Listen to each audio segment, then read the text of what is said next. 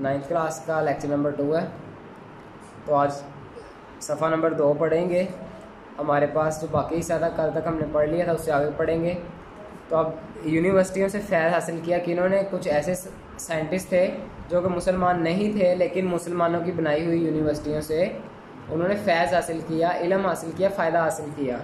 उनमें से कुछ के नाम हम पढ़ेंगे। उनके नाम क्या है? दौर जदीद के साइंसदान हैं, जो बहुत नाम बना चुके हैं, जो आज तक मशहूर हैं। उनमें से हमारे पास गलीलियो है। क्या है गलीलियो उसके बाद हमारे पास आइजिक न्यूटन है। ये गलीलियो है ना? नाइन्थ क्लास की फिज़िक्स में भी इसका ज़िक्र है। इसने ग्रेविटेशनल एक्सलेशन पर गौर किया था। पिसा के टावर पे गया था। वो टेरा टावर वहाँ से इसने चीज़ें फेंकी थी नीचे। और इसने एक हिसाब लगाया था कि हर चीज़ बराबर एक ही एक्सलेशन से नीचे जा रही है। ठीक है? तो गलीलियो ने इतना बड़ा काम किया। वो आपके पास आइजिक न्यूटन है। इसने मोशन के कानून दिए हैं। ग्रैकर मैंडल है। ग्रैकर मैंडल का बहुत ज़्यादा काम है इसमें। इसने ना अपने बाग में पता नहीं, अठारह सौ, से ज़्यादा किस्म के मटर उगाए थे। और क्या करता था, एक मटर को दूसरे मटर के साथ मिलाकर उगाना और नई नस्ल बनाने की कोशिश करनी। उसके अलावा इसने चूहे रखे, चूहों की नस्ल कशी कराई उसके अलावा इसने बिल्लियाँ रखी। तो ये बड़ी एक इंटरेस्टिंग बात है। ग्रैकर मैंडल का ज़्यादा बच्चों को पता नहीं होता लोगों को, जो आर्ट्स के होते हैं। तो ग्रैकर मैंडल ने बच्चों काम किया था इस चीज़ पर, अपना उसने देखा था कि कौन सी चीज़ नस्ल कशी में आगे आती, कौन सी पीछे। जिस तरह उसने ना काले और सफ़ेद चूहों को आपस में रखा तो उसने देखा कि इनसे पैदा होने वाले कितने फ़ीसद जो बच्चे हैं, चूहे हैं, काले पैदा होते हैं, कितने सफ़ेद। फिर उसने गौर किया कि काला रंग ज़्यादा डोमिनेंट है प्रोमिनेंट है या सफ़ेद। इस तरह की बातें इसने की। तो इसका भी बड़ा नाम है एडिसन है। एडिसन का आपको पता है एडिसन ने क्या बनाया था? पता है? कोई बता सकता है एडिसन ने क्या बनाया था? एडिसन ने बनाया था ग्रामोफोन जो बाद में आजकल टेलीफोन की एक शक्ल बना रेडियो की एक शक्ल बना ग्रामोफोन बनाया एडिसन ने। उसके बाद अगर बात करें मार्कोनी की, वो तो आपको पता ही होगा। मार्कोनी ने क्या किया था? मार्कोनी ने क्या बनाया था? मार्कोनी ने यार नर्सरी क्लास में टीचर पूछती है क्लास में ऊँची आवाज़ में, कि टेलीफोन किसने ईजाद किया? तो बच्चे कहते हैं मार्कोनी ने। आपको मार्कोनी का भी नहीं पता। अगर वो आज होता तो वो आपसे मोबाइल और टेलीफोन छीन लेता। आगे आइंस्टाइन का आपको पता है, आइंस्टाइन ने क्या किया था? इसने मास इक्वेशन ज़ाहिर की थी, जिसकी वजह से एटम बम बने हैं। ठीक है? वो इसने की थी, और बहुत से दूसरे साइंसदान हैं। तो ये हमने सबको क्यों इनकी बात की? जनरल साइंस में इसलिए की, क्योंकि ये सब मुसलमान यूनिवर्सिटियों से फारिग हुए थे। ठीक है? तो ये हमारे मुसलमान होने की ऐसे से हमारे लिए फ़ख्र की बात थी। आगे इस्लाम में साइंस का तस्वुर इस्लाम मुकम्मल दीन है जो ज़िंदगी गुजारने का मुकम्मल तरीका सिखाता है और कदर का मुजाहरा और दस्तियाब वसाइल को इंसानी फलाह बहबूद के लिए इस्तेमाल करता है। देखो बच्चों, लोहा इस दुनिया में था, वसाइल है ना? लेकिन उसको इस्तेमाल करने का, वसाइल को इस्तेमाल करने का तरीका हमें किसने बताया? साइंस ने। लोहे से गाड़ियाँ बन गई बाइक्स बन गई। तो तरीके का हमें तो पता नहीं था। लेकिन साइंस ने हमें ये तरीक़ाकार बताया। उसके बाद बच्चों, चूँकि इस्लाम एक अमली दीन है, इसलिए तलीम की तलकिन करता है और दलील मुशाहिदा और तजर्बात की भी बात की जाती है इसमें। तो अब हमारे पास कुछ लफज हैं जो कुरान पाक में है, जिससे हमें पता लगता है कुरान ने इलम पर, साइंस पर ज़ोर दिया। जैसे हमारे पास लफज है, पहला लफज है यफल लफज है अफला या नजरून, कि क्या वो गौर नहीं करते। नज़र से निकला क्या वो नहीं देखते। ये जो नजरून है क्या वो नहीं देखते। उसके बाद हाँ हमारे पास है अफला ये तफक्रून कि क्या वो फ़िक्र, गौर फ़िक्र नहीं करते। और तीसरा लफ्ज़ हमारे पास है तदबीरून, अफला तदबीरून क्या वो तदबीर नहीं करते। देखो, ये तीन लफ्ज़ हैं हमारे पास। जैसे कुरान ने खुद कह दिया, पहला लफ्ज़ हमें क्या दिया?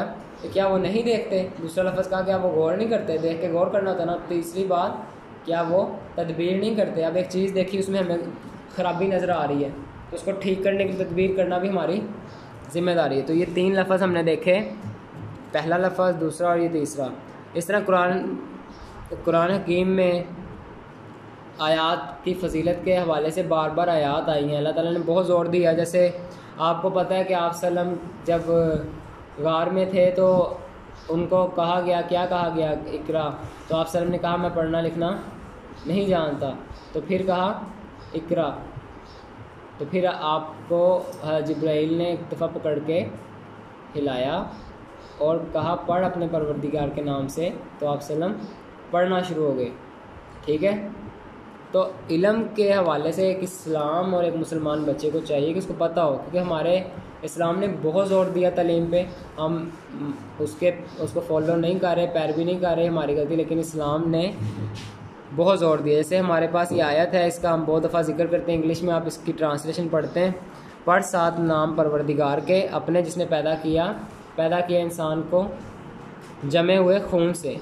पढ़, और परवरदिगार, तेरा बहुत कर्म करने वाला है, जिसने कलम से तलीम दी और इंसान को वो इलम दिया जिसे वो नहीं जानता था। बेशक अल्लाह ने ही इलम दिया नहीं तो आप लोगों ने कभी सोचा नहीं है कि सर दर्द हुआ है कभी? गोली खाई होगी? किस कलर की थी? वाइट थी। इस तरह आप लोगों ने कभी देखा हो किसी को शुगर है? वो किस कलर की गोली खा रहा है?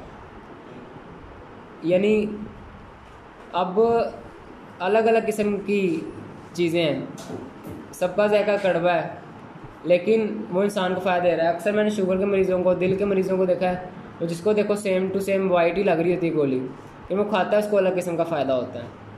अब होता क्या है?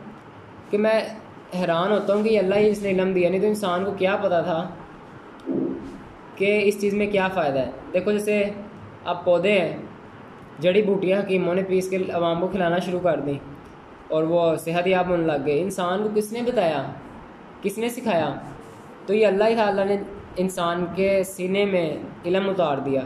वरना बेशक इंसान नहीं था जानने वाला। ये अल्लाह ने ही इंसान को जानने वाला बनाया है।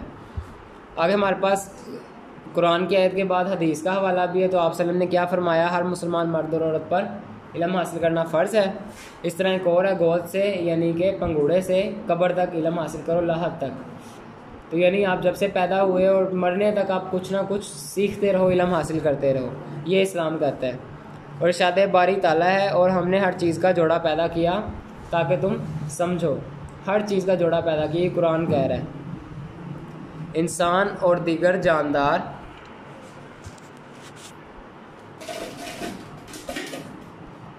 आगे हमारे पास है इंसान और दीगर जान, जानदारों में तो हम जिन्स के जोड़े जोड़े का मुशाह कर रहे हैं। ताहम साइंसदान बतलाते हैं कि छोटे छोटे कीड़े, मकोड़े, समंदरी बड़ी बड़ी मखलूक तक हर चीज़ का अल्लाह ताला ने जोड़ा पैदा किया है। नर और मादा के जोड़े से ही आगे हवानात या नबातात नस्ल चलती है। अगर इंसान इन चीज़ों पर गौर फ़िक्र करे तो अल्लाह ताला की कुदरत और वहदानियत समझ में आ सकती है, ताकि हम नसीहत हासिल कर सकें तो आगे हम सूरतुल्कहाफ़ है। सूरतुल्कहाफ़ का तर्जुमा देखेंगे। सूरतुल्कहाफ़ का क्या तर्जुमा है? इसमें अल्लाह फरमा रहे हैं, फरमा दीजिए अगर मेरे रब की बातें लिखने के लिए समंदर का पानी रोशनाई की जगह हो तो मेरे रब की बातें ख़त्म ना होंगी। पहले समंदर ख़त्म हो जाएगा और बातें हाथा में ना आएँगी। और अगरचा इस समंदर की मिसल एक दूसरा समंदर भी मदद के लिए हम ले आएँ। तो ये आप मुकम्मल आज का ये करेंगे, कल मुस्लिम साइंसदानों तक हम करेंगे आज का आपका टॉपिक इतना ही करके आना है। आप कोई सी एक आयत और कोई सी एक हदीस कर लेंगे जौन सा जौन सी आपको पसंद आएगी, सारी करने की ज़रूरत नहीं है। लेकिन सबका पता होना चाहिए कि अल्लाह ताला ने क्या क्या फ़रमाया, आप सल्लम ने क्या क्या फ़रमाया, ठीक है?